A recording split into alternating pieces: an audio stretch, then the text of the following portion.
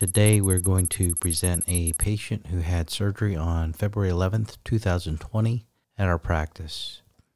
His preoperative prescription is minus 11.75 plus 1.75 at Axis 89. This is his right eye. He's a 29 year old individual. He is not a suitable candidate for LASIK or PRK corneal surgery due to the magnitude of his myopia and astigmatism. If he received LASIK to correct this prescription, his cornea would have become unusually flat in contour, resulting in reduced contrast sensitivity and decreased quality of vision. Prior to receiving the ICL, he had a YAG laser peripheral iridotomy three days prior to both eyes.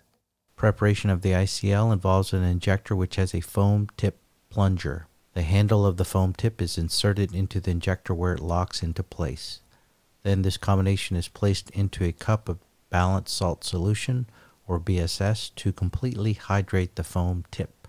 Loading of the ICL involves filling of the insertion cartridge with BSS, then viscoelastic second. We use OcuCoat as our viscoelastic of choice. Then we retrieve the ICL from the glass vial that it is stored in using smooth Kelman McPherson tying forceps. We place the ICL into the insertion cartridge so both lateral edges are underneath the top lip of the cartridge. Then we use specifically designed MST ICL grasping forceps to pull the ICL into the cartridge.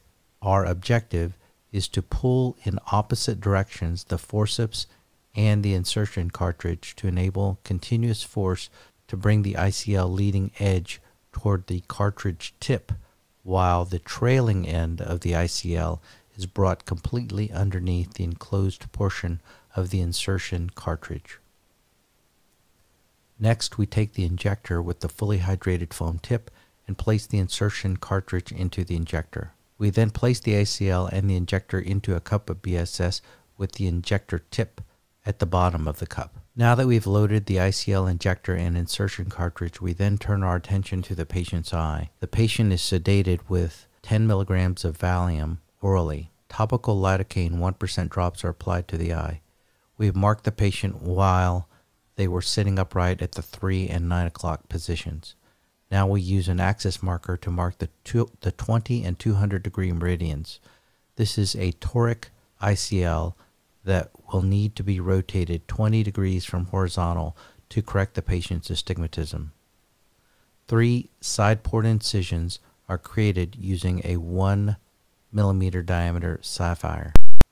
OcuCoat is used to fill the anterior chamber. A 2.8 millimeter diamond keratome makes the primary incision through which we will insert the ICL. We stabilize the eye with, with the Kelman McPherson tying forceps, then place the insertion cartridge bevel down through the primary incision. The ICL is then gently delivered into the anterior chamber that has been filled with OcuCoat. Once the ICL is completely in the anterior chamber, we use an ICL manipulator to place the haptics of the ICL underneath the iris. Once all four haptics are underneath the iris, we rotate the ICL 20 degrees clockwise. We visually confirm that the diamond imprints on the ICL are aligned with our ink marks at 20 and 200 degrees. We remove the OcuCoat using BSS injected through a 27 gauge cannula to manually wash out the OcuCoat. Then we instill Miochol to constrict the pupil. All incisions are stromal hydrated and confirmed to be self sealing. The ICL now has been safely placed and the case concludes.